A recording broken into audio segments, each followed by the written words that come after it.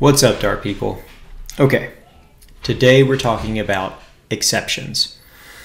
Uh, these are the you know little gremlins, little bugs in your code that pop up and uh, tell you something bad happened.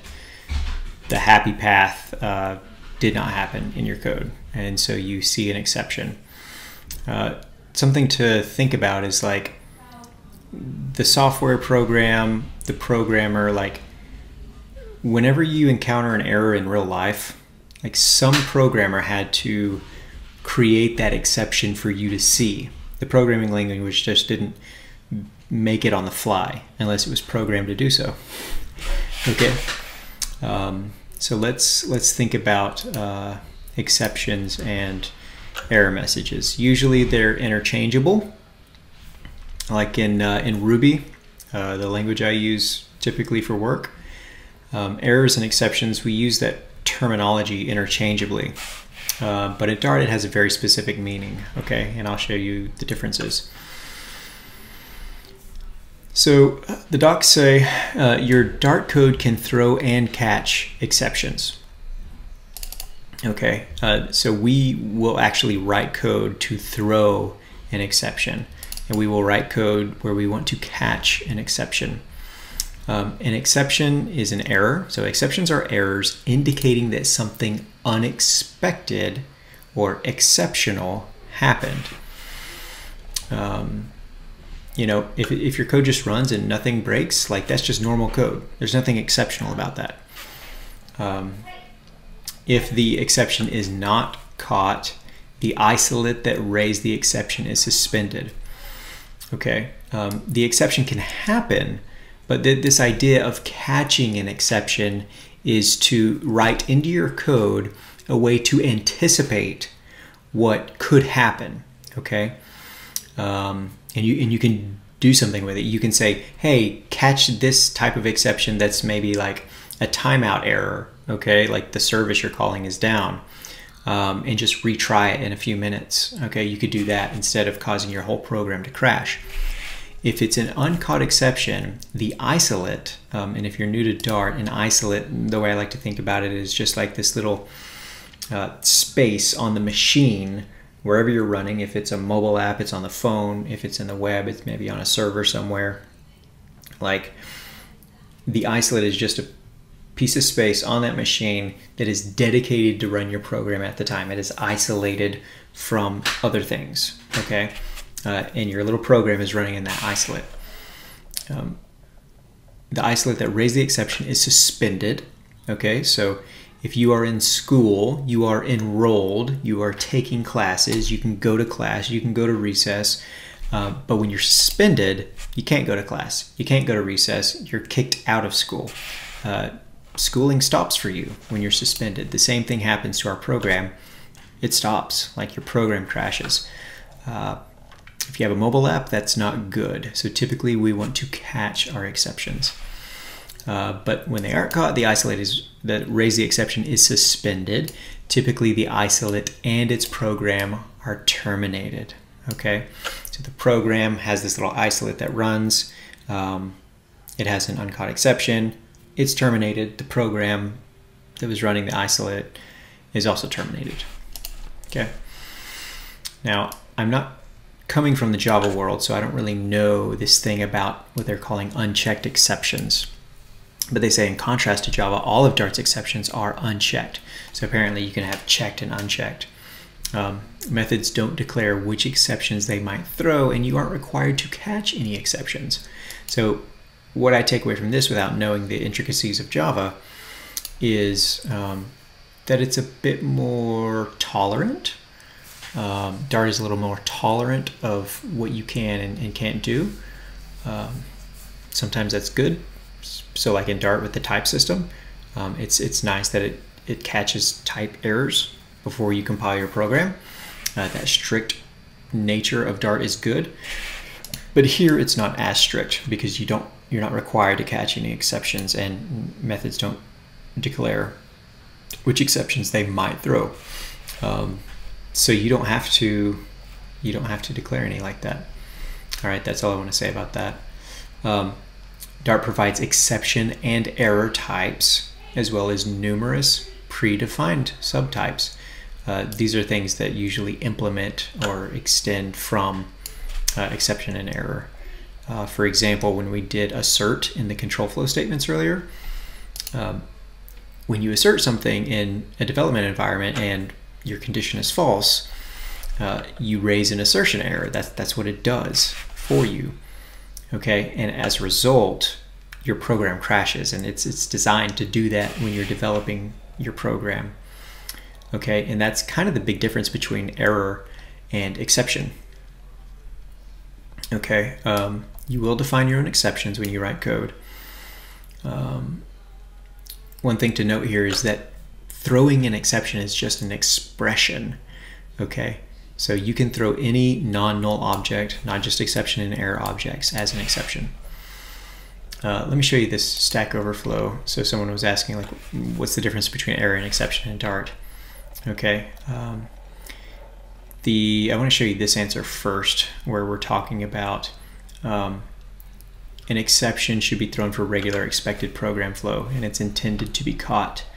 Okay, uh, one example is a timeout exception. So if you make a call to some API service, some Google Maps or weather or Twilio or you know whatever, uh, and that service happens to be down, um, or something goes wrong where it times out, you don't get a response back from the server um, you'll get a timeout exception. So then you want to catch that timeout exception and do something with it.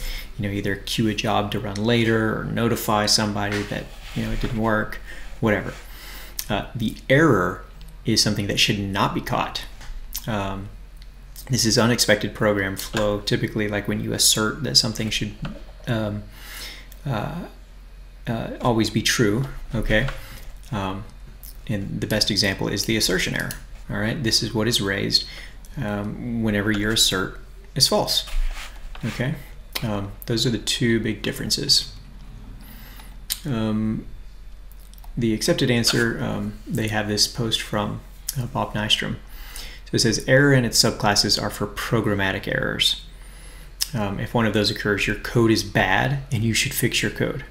Okay, programmatic errors. Your code is bad, you should fix your code. Um, maybe like a missing semicolon. Maybe that's some kind of error, a runtime error. Um, that's bad code, you should fix it. Put a semicolon in. Non-error exception classes are for runtime errors. Sometimes you can prevent them from being thrown, but often you cannot. Except in a few special circumstances, idiomatic Dart should throw errors, but never catch them. Okay, so if something is an error, like an assertion error, or um, you're implementing your own type of error, you should not catch them. Um, so don't catch errors, only catch exceptions, all right? Uh, that's something you should know right now as a Dart developer. Uh, they exist specifically not to be caught so they can take down the app and alert the programmer to the location of the bug. Okay, so those are the two big differences uh, between error and exception. Now, let's look at some examples. Um, I've already copied uh, some of this code over into Dartpad.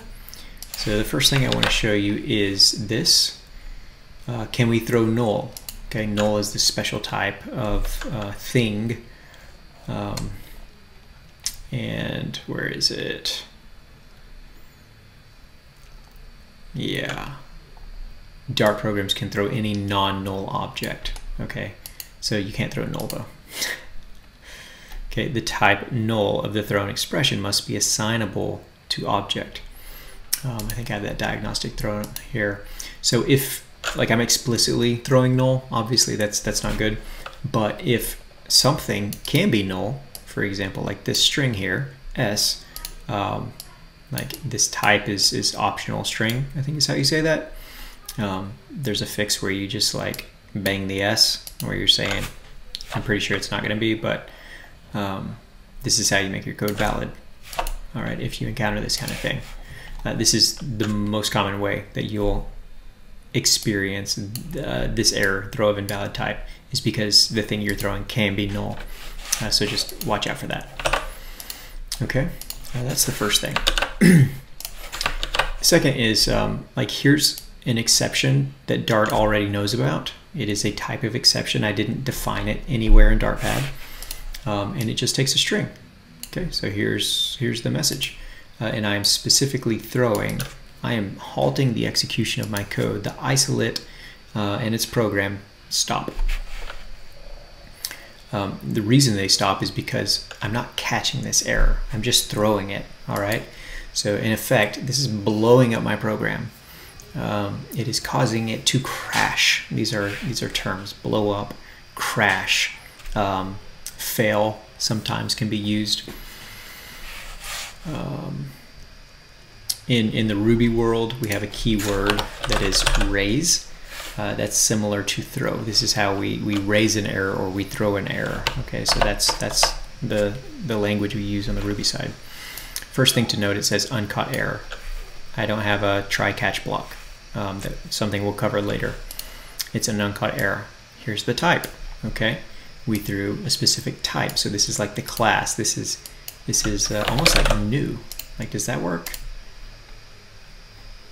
It says unnecessary new keyword, but it works. So basically format exception, there is a class somewhere called format exception that implements exception.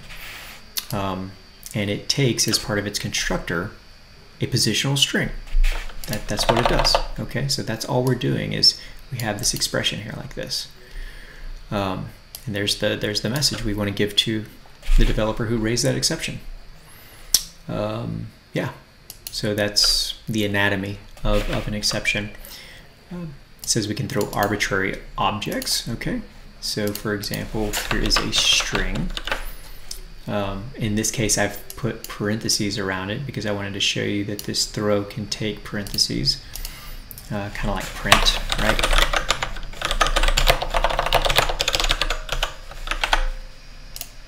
Okay, so check this out. Well, this is unreachable code, right?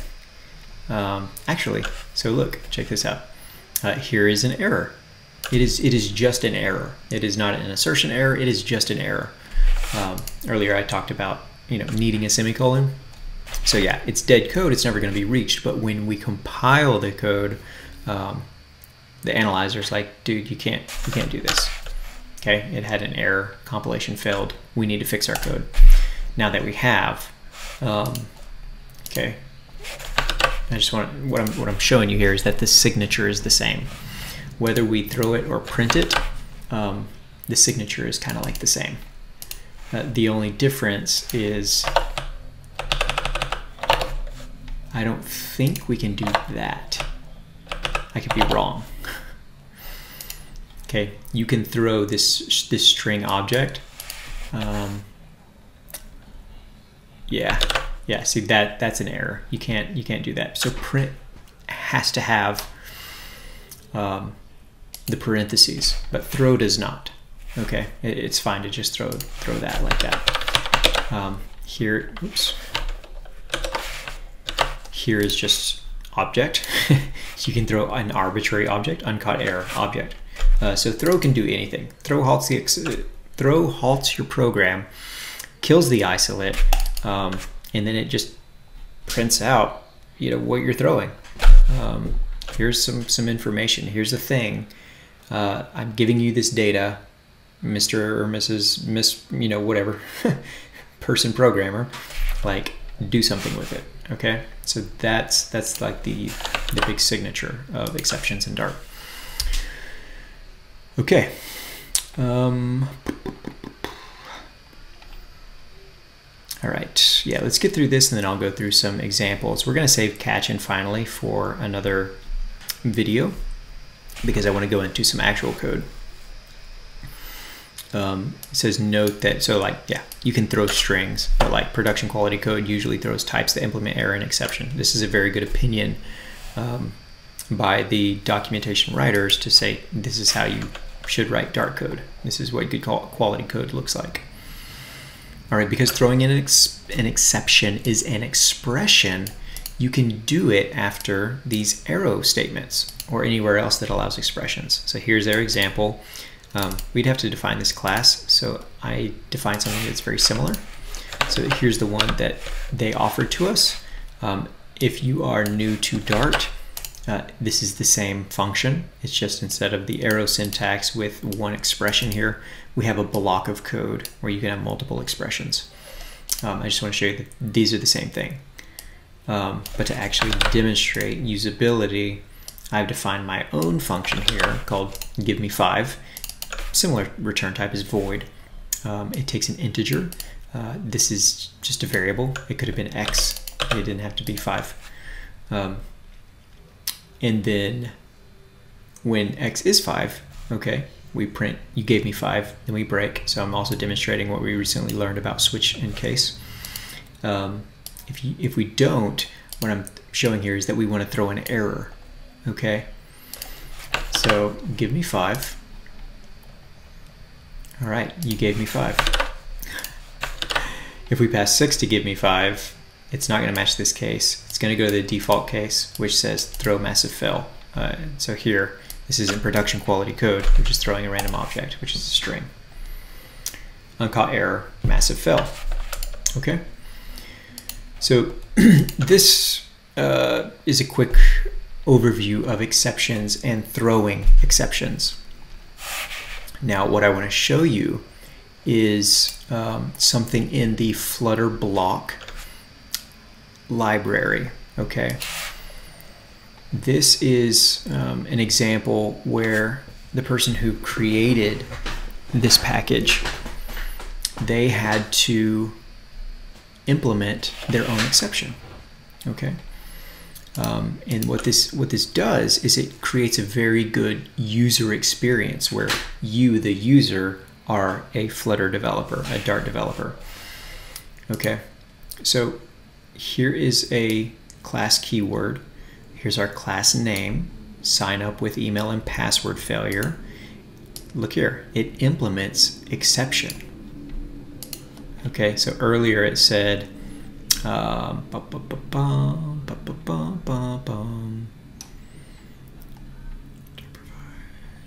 okay, where did I see it?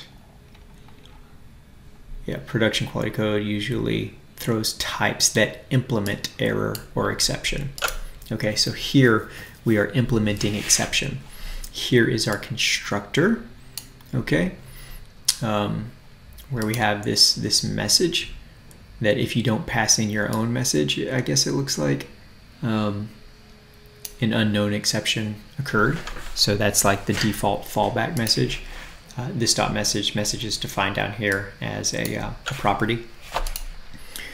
But um, you can imagine, you know, you put in your username and password, you uh, tap on the sign in button, or sorry, the sign up, um, and it makes a call to Firebase. And depending what response you get back from Firebase, um, if it wasn't successful, you want to be able to um, give that error message in a friendly way to the user of your program. Okay. So if there's an invalid email, um, we're gonna we're gonna switch on that case uh, and return an, a new instance of our own class here, right? So look, these are new const constructors, and we're passing in a string. Um, you see how at the default it just says return const and a new instance of this this class. In that, that case, an unknown exception occurred. Okay, so it's handling all the fallback positions. So this is a really good example of an exception class. It implements exception. Uh, it's got a constructor. It has, um, you know, all these cases that could happen. Email's already in use. The user's disabled. Um, you know, operation not allowed. Weak password, and, and then a fallback. So so this is a very good uh, example. All right, to to look at. Now, how is this actually used? Because this is just um, this is part of the authentication repository. Okay so this is like the interface between um, uh, the, the the data source that we're going to. Okay that's what a repository pattern is here. Now if you look up at um, this method this is in the sign up cubit sign up cubit.dart what we have is a, a um, a function, or you know we're in a class probably. So this is a method. Sign up form submitted. So this is the the um, the method that is actually run whenever you say submit. All right, so let's walk through and see what happens. Um, we have a try block here. We haven't gotten to these yet, right? We've only studied throw, um, but this is how you sort of wrap your. Um, this is a good practice. Um, in Ruby, it's begin and uh, and end. But here it's try, so we're going to have some implementation code. This is the thing we want to do, the thing that could possibly error. Okay. We're going to call sign up. Okay. Now, this sign up is in our is you know a, a method from our authentication repository. Um, it could take a while. It's a network call out to Firebase. Okay, we want to sign up with an email and password. Here it is. We're passing in that state here. Okay. Now what happens when you encounter one of these errors? Okay. We want to catch it. So we're going to catch that error represented by E. Um, okay. So we're catching this specific type, this sign up with email and password failure. Now, check that out. That E, that's going to go back here. Okay. And it's going to be like, what is the case? What are we matching on? All right. Um, at the end, it's going to emit, uh, this is just a little bit of block where we're emitting the state with an error message and a status, and that goes back to the form that you can see. Um, if we if we get an error message, uh, or sorry, um, we get an error that is not signed up with email and password failure, uh, we kind of have this sort of like little fallback thing where we're just catching any error. Now, the question you might be wondering is, well, what happens if I sign up and I don't encounter this sign up with email and password failure? Like, how do I even know that, that that's happening? Well, it turns out over in the authentication repository, there is this sign up method, right? So this sign up method we called right here in this await block, authentication repository.signup, uh, it's defined right here. All right, it has its own try block. Now what it does is it goes to Firebase and it says create user with email and password. That's what signing up does, right? It makes sense. Pass in the email and password. Now on Firebase auth exception, okay, this is something that Firebase, their programmers over in Firebase land, they're sending back to us. Okay, we want to catch the error. Um, and this is where we will actually throw it. So check this out. This is where you throw the error. Okay. Um, this is this is a beautiful example. The authentication repository and bloc uh, and the sign up method. Um, yeah, let's try to do something, which is go to Firebase and create a user with email and password. If you get a Firebase auth exception, we want to throw in this thing. So Firebase auth exception is something that we get from the Firebase library that we use, that we installed in our pubspec. This sign up with email and password failure, this is something that we are modifying the exception we get back and we're making it uh, like a better error message basically for our users. Okay, so that's how that gets thrown. That's how we get down to um, to this. We're like, oh, that's that's what we're throwing. Okay, we now we need to catch this. Um, okay, so there's a sort of a separation of concerns between what's in the authentication repository that interfaces with Firebase and the signup cubit, which interfaces with our application. That's why we're catching this failure type that we defined instead of the um, the Firebase one itself. Okay. Firebase auth exception. Okay, so this this is a real throw in real life. All right, it's a great example. Okay, um, yeah. So we went through some examples. We looked at a real world scenario. We looked at a Stack Overflow answer on the difference between exception and error. We want to handle exceptions or catch them. Um, in, in Ruby, we call that rescuing from the exception. And uh, yeah, errors represent something bad in your code that you should fix and you should not catch them. Um, but exceptions, you should, okay? And so that's, um, that's the difference there. All right, that is a good quick introduction, I think, to exceptions and the throw keyword uh, to stop execution flow in your program. Uh, next time we'll get into catch uh, with these try blocks. And um, this could even be called try catch, really. Uh, and then finally, we'll get to the finally keyword. Um, yeah, that's where we're at. So thanks for your time, and we'll see you next time. Bye.